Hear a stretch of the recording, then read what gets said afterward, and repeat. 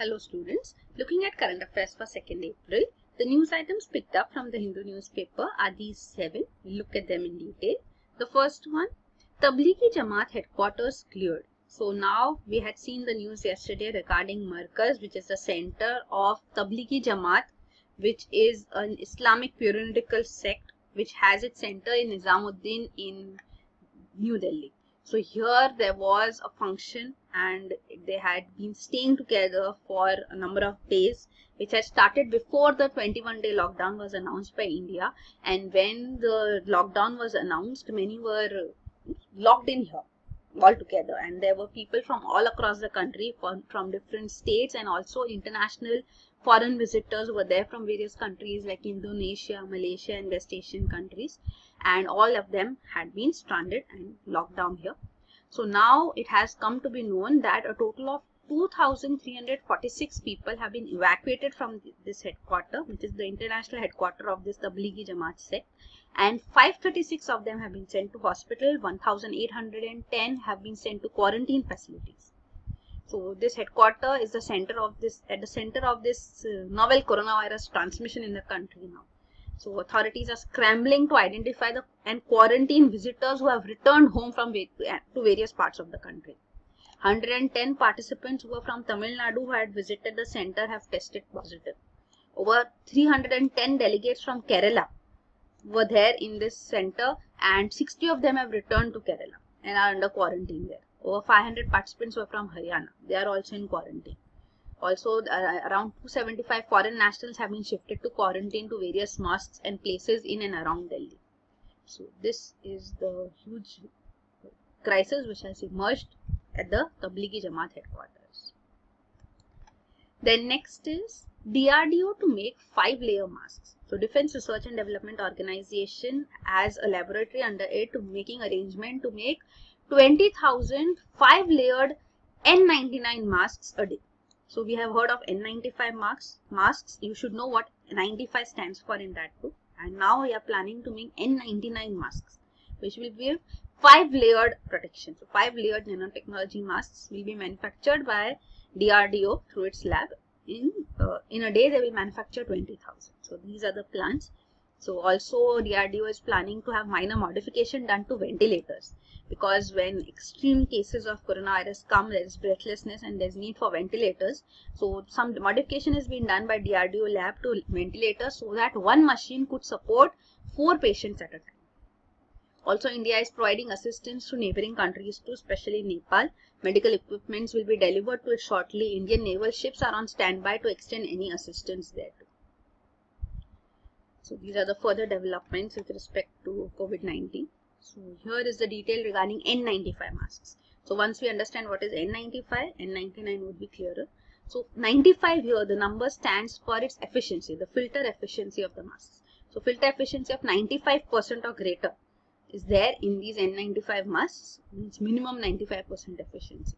So that is it can filter contaminants including TB, virus, bacteria, particulates, dust, fume, mists, etc. These are the N95 masks. So N99 would give 99% efficiency.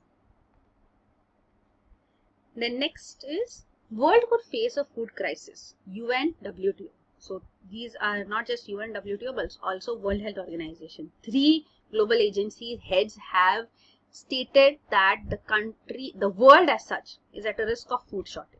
So there's a warning been given of risk of a worldwide food shortage if authorities fail to manage the ongoing COVID-19 crisis properly. So populations are in lockdown. So this has caused severe slowdown in international trade and food supply chains. Also fragility of supply chains at supermarkets, how empty shelves are being seen in many countries has demonstrated how the supply chain is also quite fragile and uncertainty about food availability has resulted in hoarding as such too and also export restrictions have been brought in by various countries so this may create shortage in the global market. So these are concerns being raised by international bodies. And globally the status of covid-19 can be seen here. It is it has spread to every country in the world as such almost every country in the world since it emerged in, Ch in china three months ago in december 2019 so you can see the various other flus which have affected the world earlier are shown here and when you compare them with COVID-19. So you can see Spanish flu H1N1 which struck in 1918-19 at least 50 million deaths were caused because of this. So one third of the world's population was affected by the Spanish flu H1N1. Then came Asian flu in 1957-58. So number of people affected is shown here. Number of deaths as such is shown here. Was 50 million, then 1.1 million. Hong Kong flu resulted in 1 million deaths. Swine flu resulted in 5,75,000 deaths. And COVID-19 so far has caused over 43,000 deaths. And 8,74,000 people have been affected worldwide. Also, US President Trump has warned Americans of a hell of a bad two weeks. So, the lockdown will be initiated there too. The, here you can see this is a figure showing virus productivity number. Means average number of new infections generated by each infected person. So, the, that is quite high for COVID-19 is evident compared to other, uh, to other previous flus which have affected the world. Then next is center defines J&K domicile rules. So this is the most important news apart from COVID-19 today. So this is regarding the union government now notifying uh, definition of domiciles for the new union territory of Jammu and Kashmir. So this definition of domicile is given here, you should know. Now the order defines domicile in Jammu and Kashmir as one who has resided for a period of 15 years in the union territory of Jammu and Kashmir or who has studied for a period of 7 years and appeared in class 10 or 12 examination in an educational institution located in the Union Territory of Jammu and Kashmir or who has registered as a migrant by the Relief and Rehabilitation Commissioner Migrants. So these are the criteria being given. Apart from this also there are uh, others like uh, children of central government officials, all India service PSUs, public sector banks, you know, so all children of such government officials who have served in Jammu and Kashmir for a total period of 10 years. So the children will also be domiciles of Jammu and Kashmir. Or the domicile status will apply to children of such residents of Jammu and Kashmir who reside outside Jammu and Kashmir in connection with the employment. So if they are not residing in the country, their children will also be considered domiciles of Jammu and Kashmir. So if they are out for the employment or business or other professional or vocational reasons. So their parents should fulfill all any other conditions provided for being a domicile, then their children will also be domicile even if they are out. So sometimes it happens with Jammu and Kashmir resident children, they are out studying or something. These are the conditions being given. So this is the definition of domicile. The gist of it is provided in this image as such too. So what we just discussed. Then we'll see about another change which has been made is regarding this domicile status been applying for appointment of posts. So appointment of posts in government posts actually take place through domiciles in what used to take place through for was there for domiciles only means government jobs were reserved for people from Jammu and Kashmir only. The same thing will now be there but only for pay scale of not more than level 4 means up to level 4 posts and level 4 posts comprise positions such as gardeners, barbers, office peons, watermen and the highest rank in level 4 category is that of a junior assistant. So they will be, domiciles will only be eligible for the purpose of appointment to any post at level 4. Also, uh, for group A, group B posts, the domiciles will not have any reservation and uh, this will be like in any other union territory. The posting, would, the appointments would take place through UPSC, Union Public Service Commission, the competitive exams. So, Ministry of Home Affairs had in February 2018 given details about uh, vacancies in Jammu and Kashmir administration too. So, said, it had said there are more than 84,000 vacancies and out of these 84,000 class 4 employees vacancies are 22,078.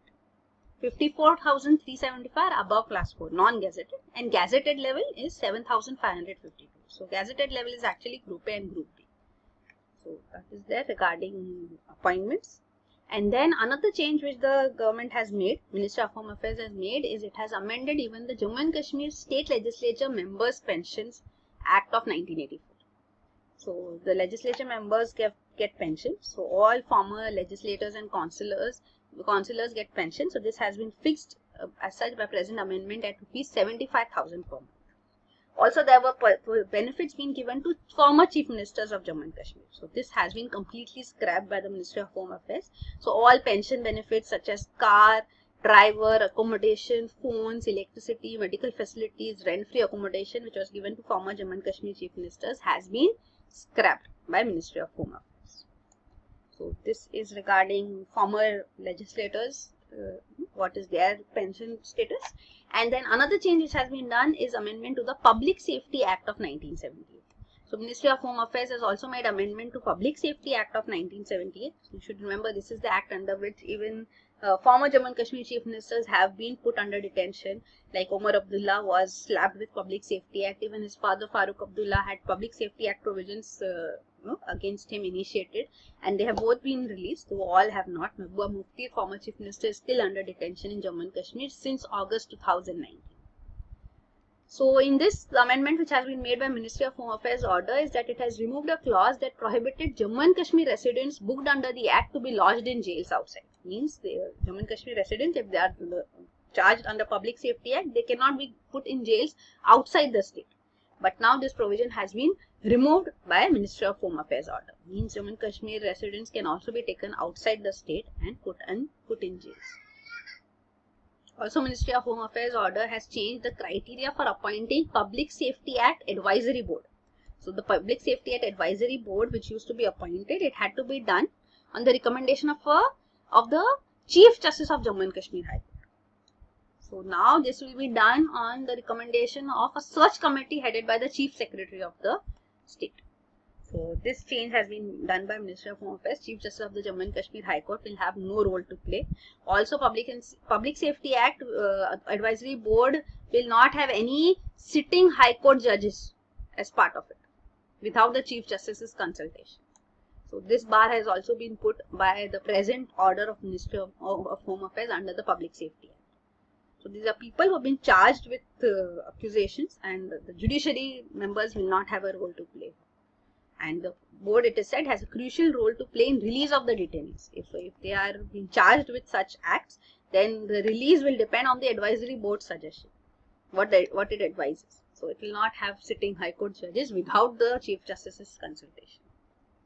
Then also the order scraps a clause that dealt with the power to regulate place and condition of detention as we saw can be lodged in jails outside too.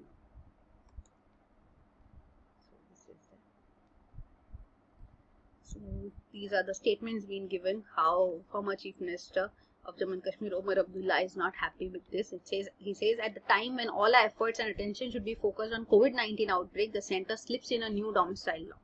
Insult is heaped on injury when we see the law offers none of the protections that were promised.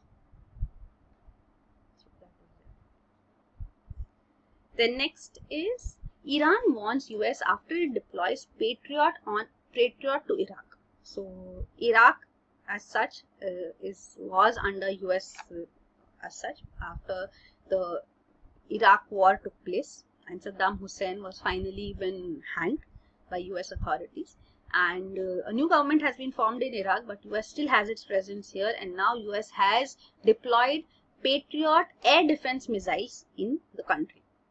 So these missiles in Iraq are said to be targeted towards Iran because Iraq also has Iranian uh, support as such to one of the factions here. So Iran has warned the US that it was leading West Asia to a disaster in the midst of COVID-19 pandemic since it has deployed these Patriot defense missiles, uh, air defense missiles in Iraq. And also these missiles have been deployed by USA after some rocket attacks on its bases and its facilities took place in Iraq. So that's why USA has deployed them. So this is the Patriot air defense system being detailed out how there's a radar which can detect incoming missiles and can counter them. So Patriot missiles have are owned by USA and also other countries have deployed them like Japan, uh, South Korea, Taiwan, even West Asian countries, Netherlands,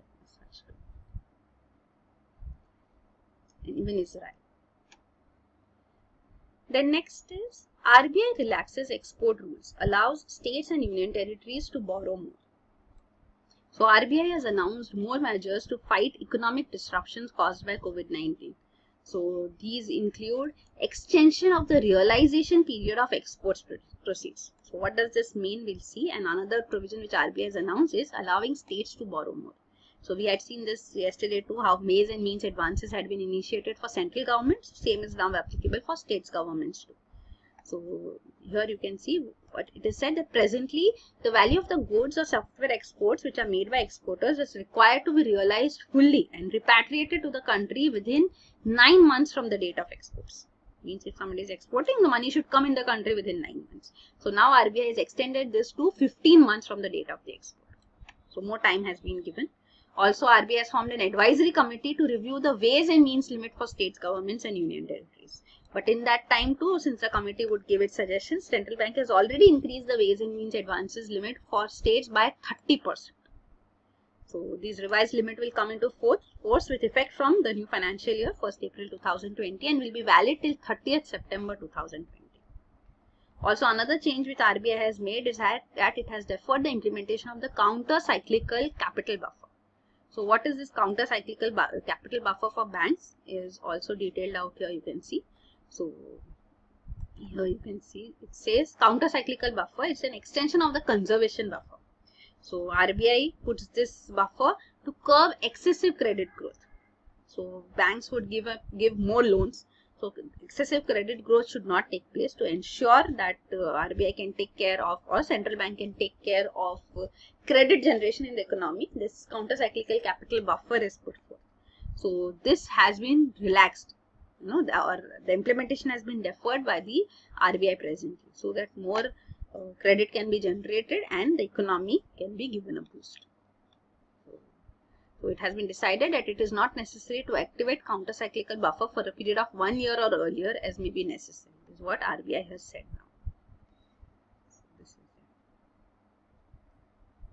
So, uh, you can see how counter-cyclical buffer, how it works. When it's a period of recession, then capital conservation buffer uh, as such, it stops profit being distributed.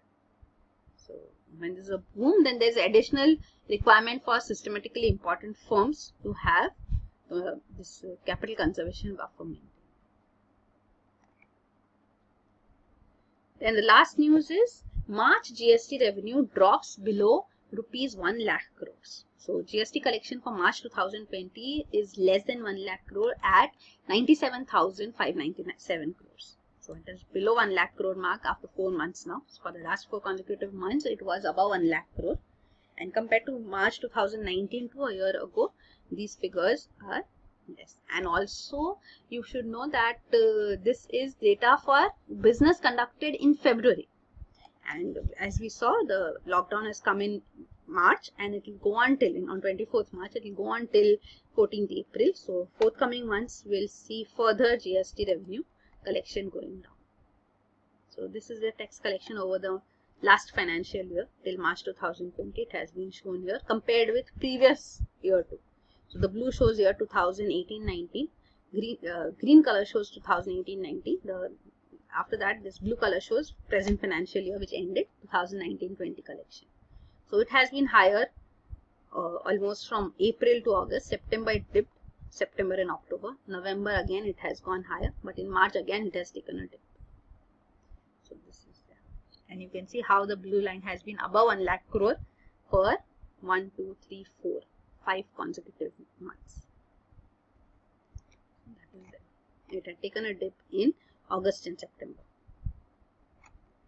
So that is it. These are the news items. Thank you.